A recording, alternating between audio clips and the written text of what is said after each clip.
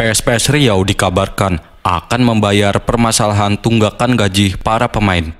Sebelum ke video jangan lupa untuk klik like dan juga subscribe-nya guys. Karena akan ada updatean informasi tentang sepak bola lainnya. Oke jangan lupa di subscribe guys. Thank you Klub Liga 2 yaitu PSPS Riau memastikan akan membayar permasalahan tunggakan gaji pemain yang masih tersisa pada musim 2018 lalu. Hal ini dikatakan langsung oleh Direktur Utama PSPS yaitu Arsadianto Rahman PSPS sebelumnya sudah dijatuhi hukuman oleh NDRC. Sebelumnya apa itu NDRC? Ya, NDRC kepanjangan dari National Dispute Resolution Chamber atau Badan Penyelesaian Sengketa Nasional di mana nantinya akan menjadi tempat pengaduan khususnya pemain di liga setempat.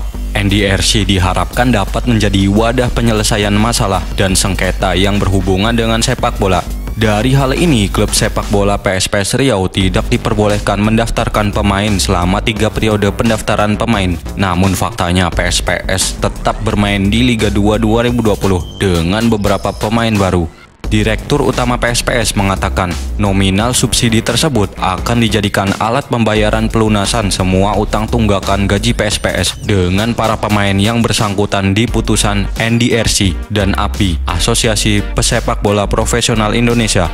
Kami sudah memberitahu dan mengirimkan surat tanggal 9 Maret lalu kepada PSSI dan PT Liga Indonesia Baru terkait cara penyelesaian seperti ini. Kami meminta kepada PSSI agar sanksi berupa larangan melakukan proses pendaftaran pemain baik tingkat nasional maupun internasional paling lama tiga periode pendaftaran dicabut atau dihapuskan agar kami dapat melakukan registrasi pendaftaran pemain secara normal. Pungkasnya Arsadianto Rahman, Direktur Utama PSPS. Arsadianto juga menyatakan bahwa pihaknya ingin mengajukan cross-check bersama antara data yang diterima oleh API dari laporan para pemain dan fakta di lapangan soal pembayaran yang sudah dan belum dilakukan oleh manajemen PSPS. Hal ini disebabkan manajemen PSSI menemukan adanya sebuah angka yang tidak cocok.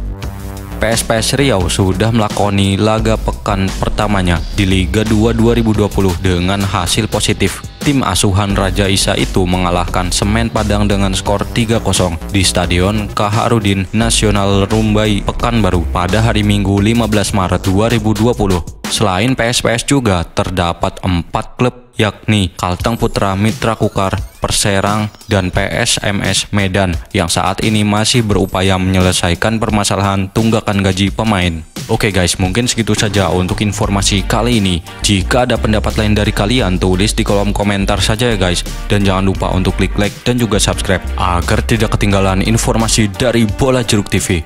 Oke, terima kasih.